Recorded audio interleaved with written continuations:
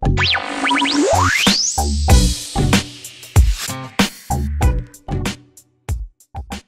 to AFD TV. We're back here with Ashley Myatt, our medical director for our AFD Wellness Clinics. Welcome again, Ashley. Thank you.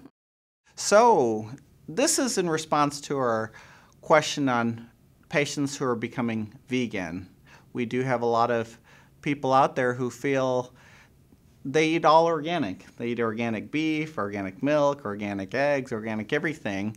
Is it is organics as safe as it sounds, especially for meat products? Okay, yes. So I think the answer to that question is generally yes. Um, organic products are very safe. Um, they tend to have, um, you know, the beef, for example, um, they'll advertise it as grass fed and not grain fed, which is the way you want to go if you're going to buy organic uh, meat. Um, it's going to have uh, it's not going to have the hormones in it um, or the antibiotics that is in the food um, that's fed to a lot of the cows and chickens and pigs um, that's going to be in the non-organic uh, meat products. So, and the the vegetables, um, they try to grow them without pesticides. Um, the the water source that they water them with, you know, it can still come from a river that has you know all the chemicals and stuff in it, but at least they're not using the pesticides on it. Um, so it's a lot safer in that regard. Great. And do you think it's worth it? It's extremely expensive. It is expensive to try to um, eat right. In general, it is expensive. But if you're going to eat right and eat organic, it's even more expensive. Um, so just kind of pick and choose, you know, what you're going to buy from what store. Um, if you want to go organic, make a list. You know, make sure you don't go when you're hungry. When we all tend to overbuy at the grocery store when we're hungry, and you could easily spend a couple hundred bucks at an organic food store um, if you go and just start picking out random things. So know what you're going to go shop for when you go buy organic.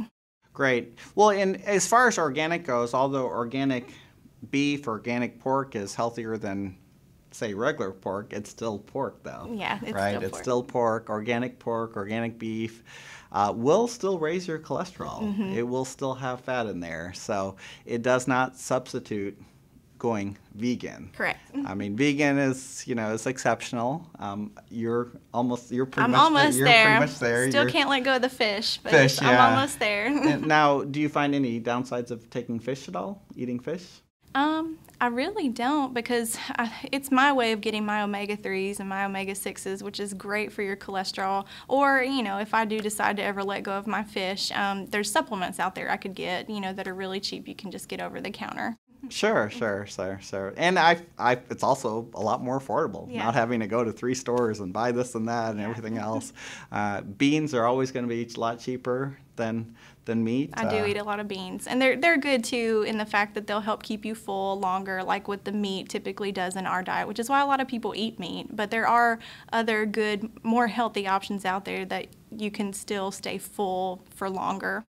And uh, whey protein. Yes, and whey protein. Yeah, whey protein is a Great is- supplement. is a great supplement.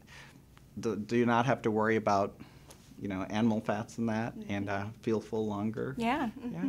So, well, very good. Well, thank you for watching AFD TV. Thanks. The preceding advice provided in this video is informational and strictly the opinions of Dr. Sammy Drala and AFD Clinics. For a more accurate medical opinion of your personal health, please consult your primary care physician or visit one of AFD's clinics today. Thank you.